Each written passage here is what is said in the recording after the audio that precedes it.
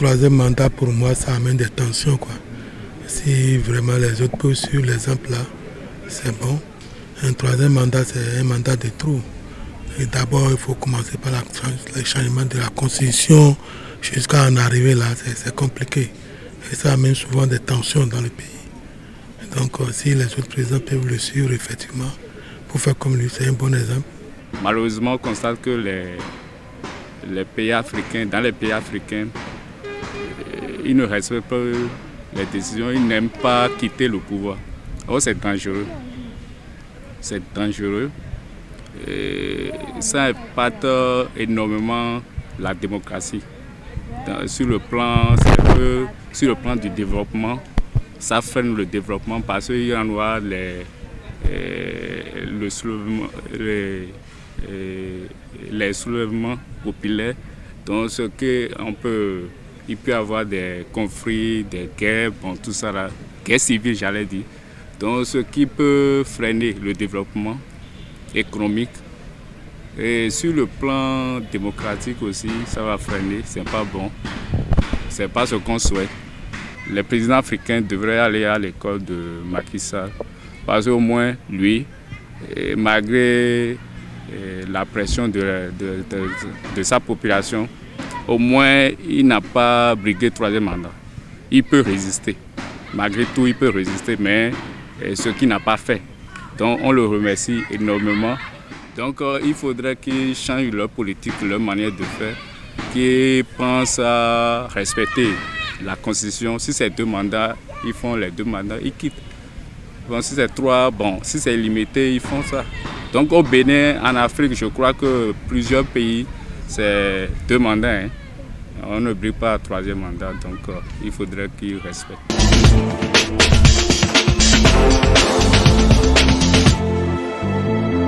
L'intervention du président Macky Sall était vraiment attendue.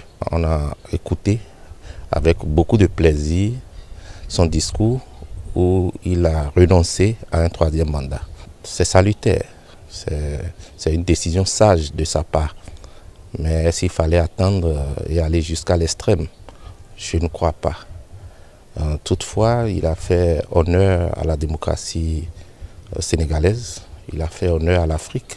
Mais ce que je dois surtout dire, il faudrait que nous puissions tirer leçon de ce qui s'est passé. Nous ne devons pas du tout imiter les autres dans leur barbarie. L'Afrique a une culture, l'Afrique a une civilisation et notre culture, c'est la paix. Tout se discute sous l'arbre à palabre. Macky Sall a pris une bonne décision, mais ce n'est pas encore terminé puisque les tensions existe encore, subsiste encore dans le pays. Et il faudrait que le flou autour de la condamnation de Ousmane Songo soit clair. C'est regrettable pour l'Afrique et aussi euh, ces présidents-là. Donc, euh, s'il est prévu dans la Constitution qu'il faut deux mandats et que on est à la fin de sa mandature, je crois qu'on ne pouvait plus soulever des polémiques. Est-ce que vous voyez? Donc, euh, tant de sang a, coulé. Il y a eu beaucoup de victimes. Et ceux-là maintenant, qui pourra réveiller leur âme? Qui était à la base de ce qui est arrivé euh, Si c'est dans des pays sérieux, donc, je crois que malgré cette déclaration-là, il devrait aussi en répondre. Faire la déclaration pour refuser un troisième mandat dans le contexte euh, actuel au Sénégal, c'est quand même euh, bien, c'est bien de sa part de pouvoir enfin se prononcer. Mais on va dire c'est venu un peu tard parce qu'il fallait se prononcer déjà au début des manifestations pour que euh, cette situation soit clarifiée une fois pour de bon il y a une confusion totale qui s'est installée. Il y a eu des manifestations, il y a eu des morts, il y a eu du vandalisme, il y a eu des édifices, même l'université de Dakar a été détruite, tout ça. C'est quand même déplorable. Nous allons inviter les jeunes, parce que ceux qui se sont mis devant pour faire tout ça, et les décès, tous ceux qui sont en prison aujourd'hui, c'est la grande majorité, c'est la jeunesse. Euh, nous allons demander aux jeunes de euh, vraiment savoir faire les analyses et de ne pas suivre euh, systématiquement les discours politiques.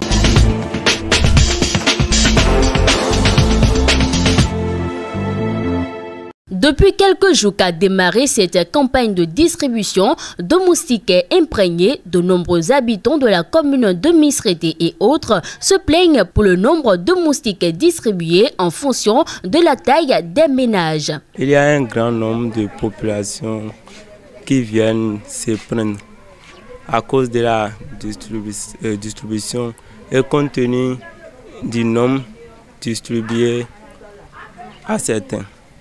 Donc il y a des gens qui disent qu'ils sont au nombre de 10 ou bien 8 et c'est seulement 3 moustiquaires qu'on les distribue. Bon, il y a plein plein de personnes qui se plaignent à cause de la distribution. Bon, moi je vois que la population s'est décroyée déjà parce que les gens ne souhaitent pas venir ici faire la queue pour prendre une moustiquaire ou bien deux moustiquaires. Donc, il y a des gens encore à la maison qui ont la coupon, qui ont le coupon, mais qui ne veulent pas, ne veulent pas venir ici pour faire le rang, pour dire qu'ils veulent prendre un thé ou bien une moustiquaire. Donc, ils se sont découragés déjà. À en croire les agents distributeurs de la commune, cet état de choses se justifie par la digitalisation du système de distribution des moustiquaires.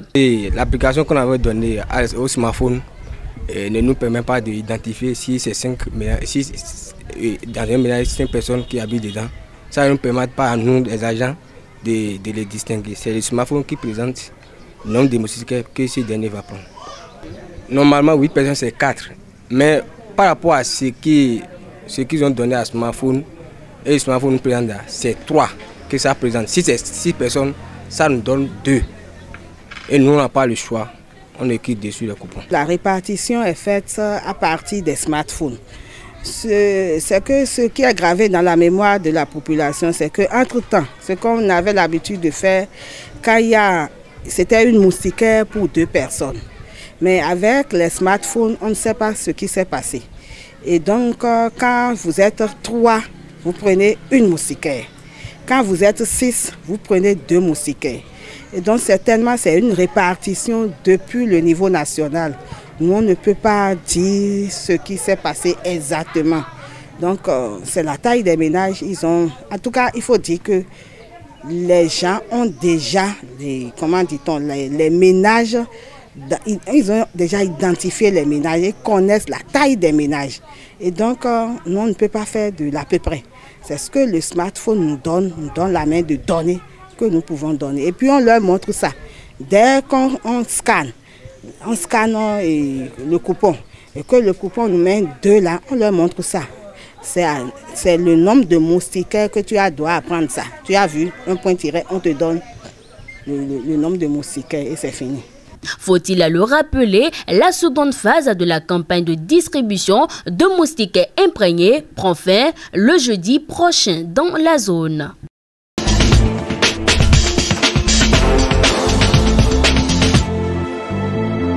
Quatre organisations syndicales du ministère du Travail et de la Fonction publique sont en liste pour participer à cette première édition des élections professionnelles. Pendant deux semaines à compter de ce mardi 4 juillet à 0 heure, ces organisations iront sur le terrain pour se vendre auprès de leurs différents syndiqués. Positionnés sur un spécimen de bulletin unique, ces quatre organisations syndicales du ministère se disent conscientes de cette phase importante dans le processus électoral.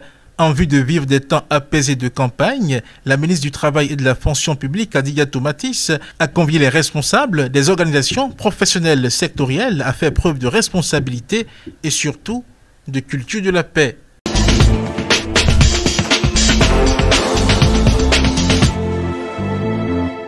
Le député du groupe parlementaire Les démocrates souhaite avoir de garanties que des dispositions ont été prises pour l'amélioration des conditions de détention de l'ancien douanier de la faculté de droit de l'université d'Abomey-Calavi, Joël Aïvo. En plus de cela, il souhaite que le gouvernement informe des dispositions prises pour la libération de l'universitaire étant donné que son arrestation et sa détention sont politiques, de même que les dispositions prises pour punir des traitements inhumains et dégradants qu'il subit conformément à la Constitution, notamment en son article 19. Outre le cas du candidat recalé à l'élection présidentielle d'avril 2021, le député Michel Sodinou se préoccupe des conditions de détention dans les prisons au Bénin, de la gestion de l'effectif des prisonniers et des dispositions prises pour qu'on en finisse avec les détentions provisoires qui durent plusieurs années.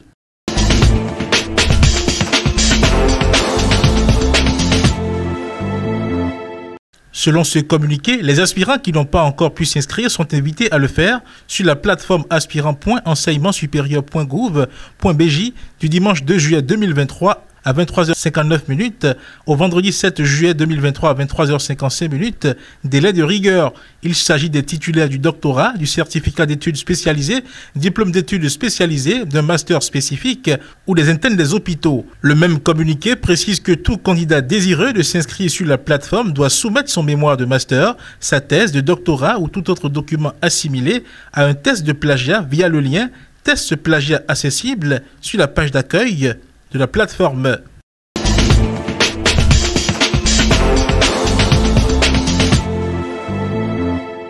La crise au sein du conseil communal de Copargo s'enlise davantage. Malgré les recommandations qui seraient faites par le président de la République au chef de parti de la mouvance, UP Le Renouveau et Bloc républicain, les conseillers communaux exigent un vote de défiance contre le maire et ses deux adjoints et la désignation des présidents des commissions permanentes du conseil communal. Selon la déclaration des neuf conseillers, Porté par le site web Le Potentiel, en ce qui concerne le vote de défiance, il a été impossible d'obtenir une concession pour maintenir le maire et ses adjoints à leur poste. Je cite, Nous avons enregistré une plus grande radicalisation et des frustrations de toutes les composantes politiques de la commune qui déplorent le traitement à elle fait par le maire et son équipe du fait de leur appartenance à un parti outre que le leur de citation, a expliqué le porte-parole des conseillers. Ils sont revenus sur le nœud de la crise qui n'est ni une guerre entre les partis UP Le Renouveau et Bloc républicain, mais plutôt un malaise au sein de la commune. Car même des cadres des FCBE, ex-parti du maire Ignace Wourou, exigent jusque-là son départ de la tête de la commune. Sur le point du choix des représentants des commissions permanentes, les conseillers ne sont pas allés du dos de la cuillère avant de donner leur position. À les en croire, la désignation est réglementée par la loi, notamment le code électoral. Et c'est le parti qui a obtenu la majorité absolue des sièges qui désigne les présidents des commissions permanentes du conseil communal. Par conséquent, c'est les FCBE qui doivent procéder aux désignations. L'on pourrait tenter de se demander si cette crise qui emporte Copargo n'est-elle pas loin d'être terminée.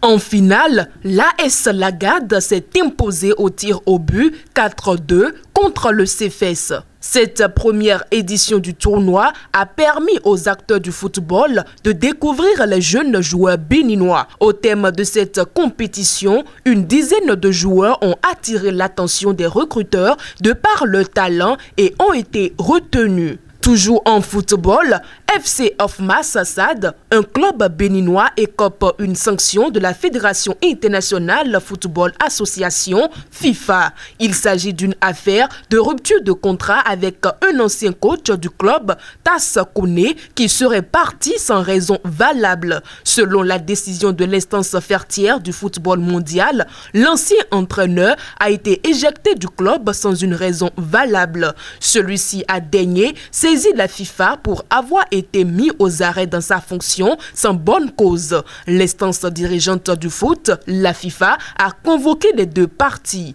Après interrogation, à travers une décision en date de ce mardi 4 juillet 2023, la FIFA a sanctionné le club. FC of Massad est donc sommé de payer désormais une indemnité de 6 800 000 francs CFA au coach pour rupture de contrat sans juste cause.